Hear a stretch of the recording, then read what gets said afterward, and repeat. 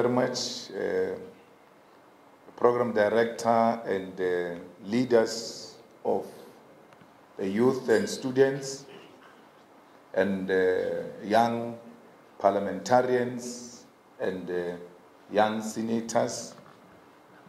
Um, I'm very happy to be here and always very happy to speak to the future of the African continent because that's where I come from.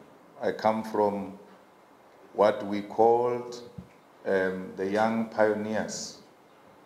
The Young Pioneers was an organization of children in the ANC. It used to be called Masupatsela.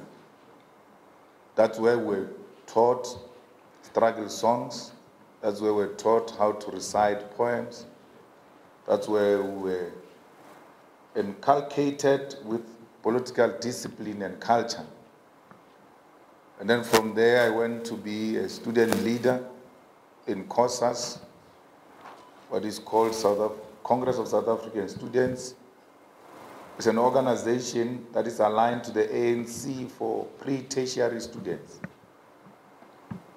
And then I became the youth leader of the ANC and a leader of the ANC. So there's no, there's no step I've missed in my life of politics. Um, I've led the ANC in my own right, not through the youth league, and um, which means I've led a ruling party.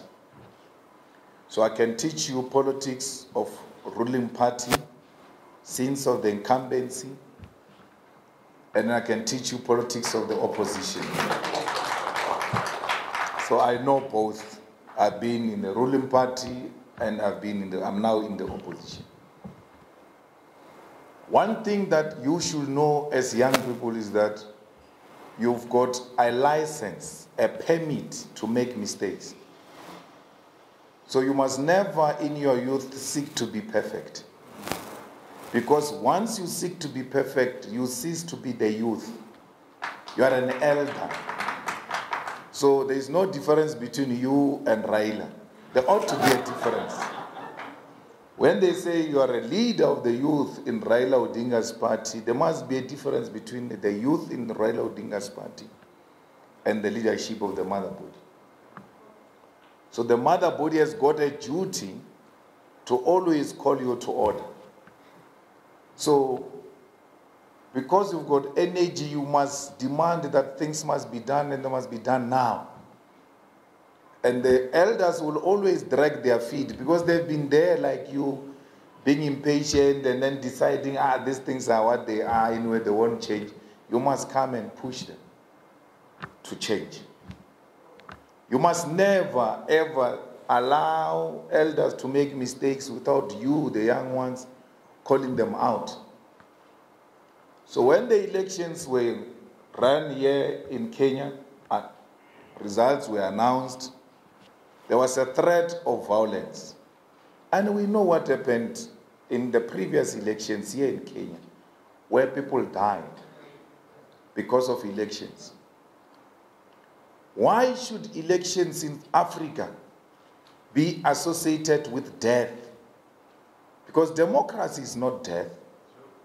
Democracy, by all means, is a right to live and live a beautiful life.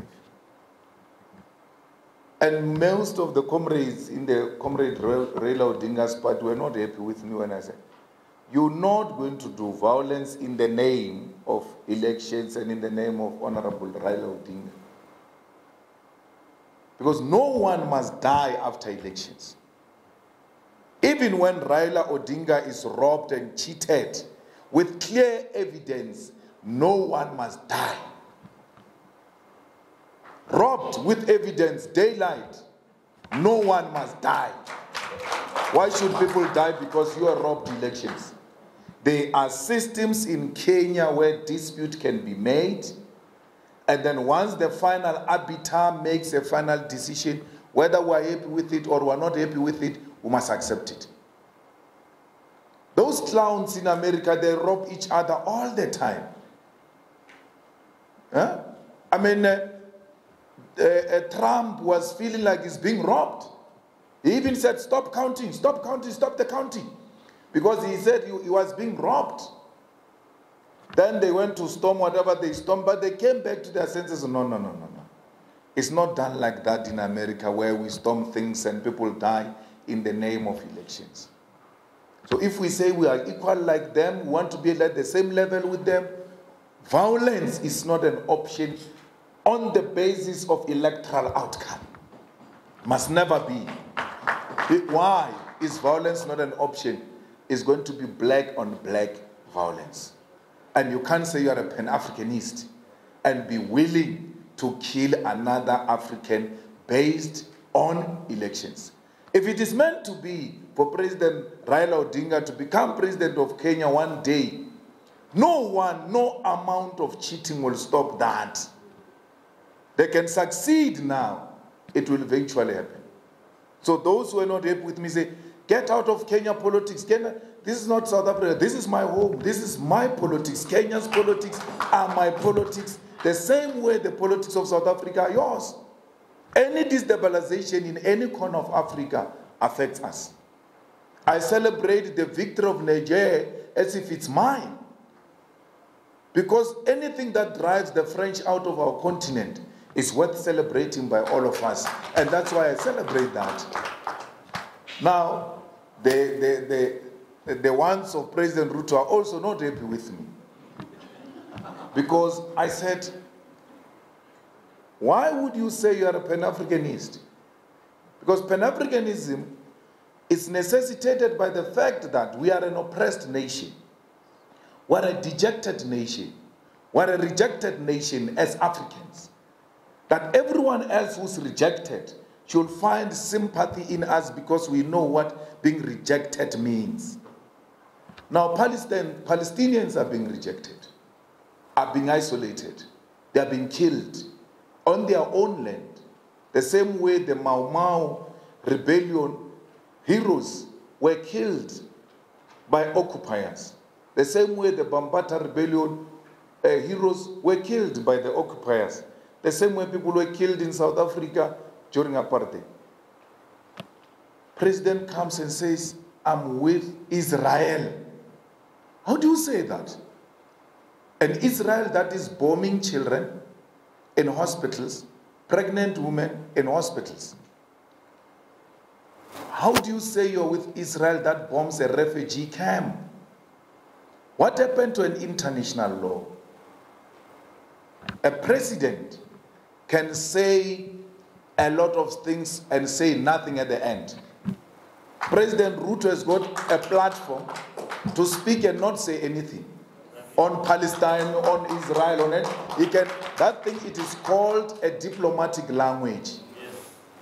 So you stand up and then speak like that about pregnant women who are dying, and then you say we must keep quiet because if we speak, we are attacking the president. No.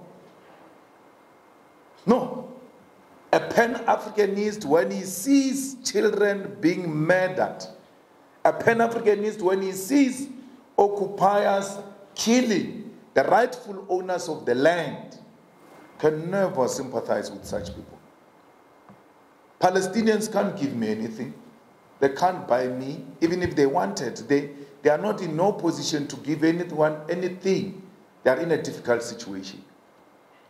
At the age of nine and ten, police raided my house, male police, found us sleeping. They were looking for young boys and men. In my house, there were no men, there was only women. My grandmother had nine children, eight of them were women. When they searched a full house full of people, they couldn't find men. And those male police had to strip off my mother, take off her clothes in front of me for them to confirm if she's a real woman. If you lived that experience, you will know what the Palestinians are going through. Forceful removal is what we lived in South Africa. We know what it means. Where you wake up tomorrow, yesterday you had all house, land, everything. Tomorrow you have nothing. That's what we see now in Palestine. So many people, 9,000 people killed in weeks. No international warrant of arrest has been issued.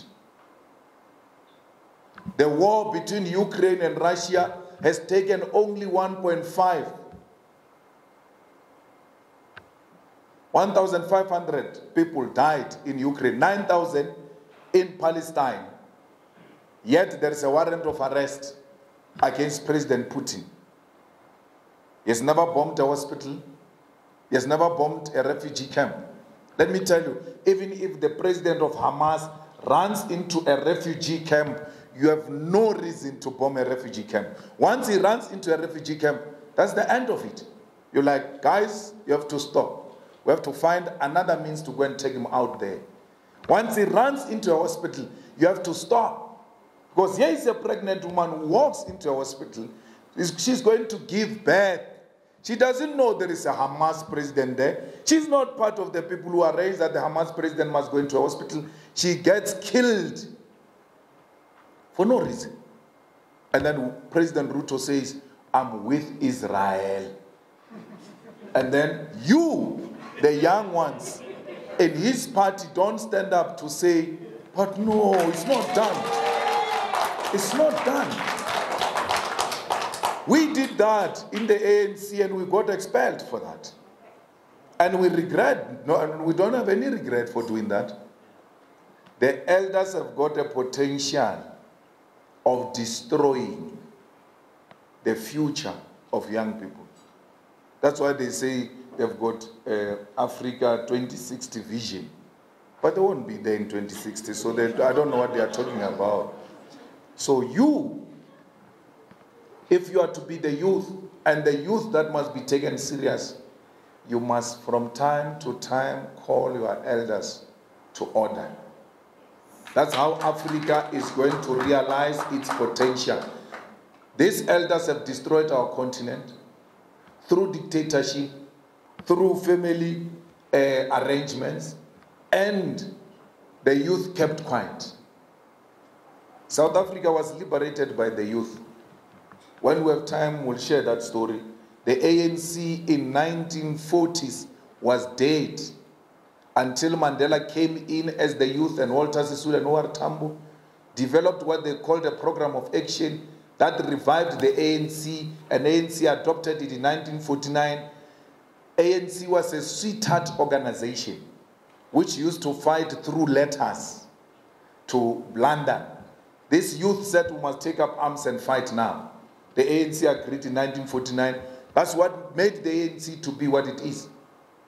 When they got arrested in the 60s, down the line in the 60s, Steve Biko emerged was a young person, black consciousness. That led to 1976, that was the youth. What O.R. Tambo said to the youth of South Africa in the 80s, render South Africa ungovernable and unworkable. The youth did that. In 1985 and 1986, South Africa had a permanent protest every day to a point where martial law was declared state of emergency twice in one year. Because they declared the first one the youth were saying we don't care do what you want to do. They had to declare another one because they thought the youth didn't hear. But they heard and they were defiant. And that's what brought 1994 because of the youth of the 80s so the youth of kenya can make kenya politics to be what you want them to be. President ruto it's a new, you know, fresh air. Because, you know, it has always been like it is has to go between uh, the Odingas and uh, um, the former president, the Kenyattas. So when he came in, we're like, ah, we now are graduating the, you know, what do you call it, family di- uh, dynasty. We said the family dynasty arrangement is going away. We said this was a perfect Pan Africanist. I'm not denouncing him as not being a Pan Africanist. All I'm saying is stay true to what you are saying. It doesn't matter how many people are criticizing you or not. We still have a lot of hope in him. We still think that a right thing can be done. We need to de-dollarize. He said he's going to de-dollarize. We need to do away with the dollar. He said he's going to do away with the visas. We have to do away with the visas because Africa must be one. I must wake up. It's a four hour flight from South Africa to here. I must wake up in South Africa and come and eat lunch here. And then in the afternoon, get into a plane, go back. So why should it be an issue? All of these visas, borders must be done away. You know why they think we are xenophobic? We don't know each other. The more we do away with visas and borders and all of that, the more we're going to know each other and realize that we're actually one thing. There's nothing I'm seeing in this room which I've not seen in South Africa. There's nothing that suggests to me as I wake up, as I walk the streets of Nairobi, that suggests something different to me. It's my first time here. But it's as if I've been here many times. Why? Everything is familiar. These are my people. This is me. And, and to say you welcome me eh, in Kenya is like welcoming me in Johannesburg. This is my home. Everywhere else in Africa, it's our home. You, the youth, must come and learn in South Africa. South Africans must come and learn here in, in our universities, cultural exchanges, and we must start to listen to the same music, watch the same movies, to do away with this Western imperialism that manifests itself through songs and television and movies and all of that. Nigerians have got it. They are on the right track. They need our support. How do we support them? We must join them in producing our own movies, our own music, and do away with Beyonce. I saw honorable member senator saying she saw Beyonce in Dubai and did not even get starstruck. That's it's supposed to be like that. Uh, she's a human being. Uh, so we, we sing one of our own. But you do that once you start having a self respect to know that we are all are. We can do what they are doing.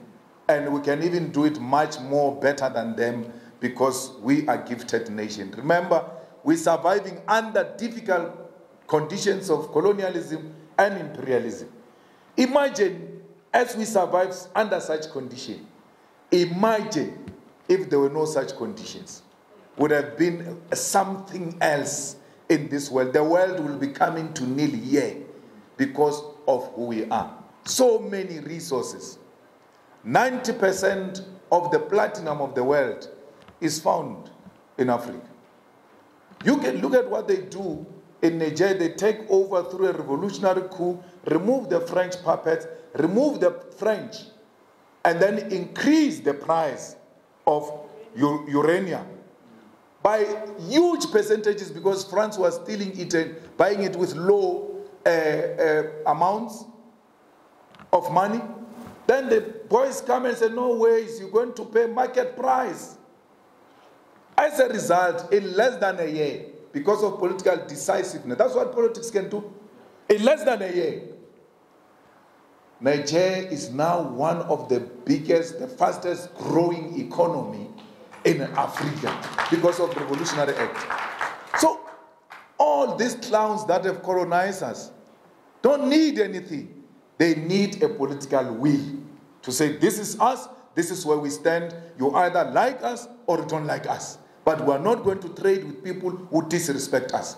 You're going to respect us and you're going to trade with us in this way. So, that's you, the youth, who must radicalize the politics of the ruling party and the opposition and say anything that is not African, we're not going to associate with it, including the, the coups that are happening in the continent where a French puppet is replaced by another French puppet. We must not support such nonsense.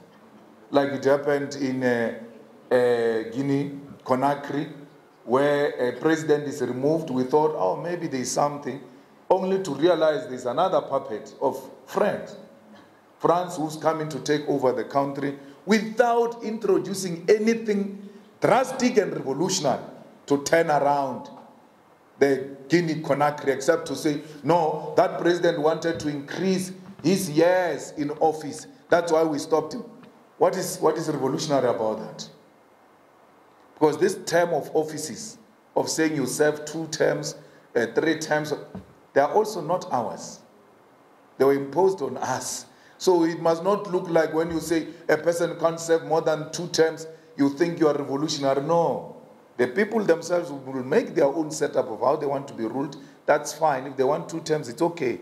But don't speak like it's a God given fact that we must serve only two terms because America said so or Britain said so. No. You remove a president in Guinea Conakry, replace it with a French puppet. You have a, a war going on. So many. I said to you, 1,500 Ukraine, Russia, 9,000 in uh, Palestine. It, I, I think it's more than that in DRC. In DRC, no one is saying anything because uh, uh, the barbarics, the monkeys, are killing each other. We don't care. Let them finish each other there. It can be that if there is a different race being killed, there is noise. But when there are Africans being killed, it doesn't matter African on African or state on state, tribe on tribe, as long as there is death, people being killed, there can't be any amount of justification. No one has ever said anything about that death which is happening in DRC, where thousands are being killed. No one can say anything. You know why? It's an African life, it's a cheap life. Don't care about it. So we'll have this conversation one day. These guys are showing me the time there at the back. So I have to disappear. But thank you for coming. And then let's have the conversation continuing in whatever different forms. Don't worry about me, whether they attack me or they don't attack me. I don't care about those things. When they sit alone, they know I'm telling the truth. And as long as they know that, I'm very happy about it. Thank you. Thank you. Thank you. Th- thank you so much, uh, Honorable Malema. I just want to say that, uh, Honorable Malema, we are thankful. Thank you very much. And Amapiano is very famous here, Honorable Malema. We like that. Uh, so we do MPs and then we do all of us. I also want to recognize Siasa Place, the sponsors of this event. Where is uh, Ken? Oh, this is Ken. Oh, thank you. Uh, no, no, we'll come. We'll come back. Yeah. Yeah. Yeah. Yeah. Godrich. Good. Are we all, or you want us to mix?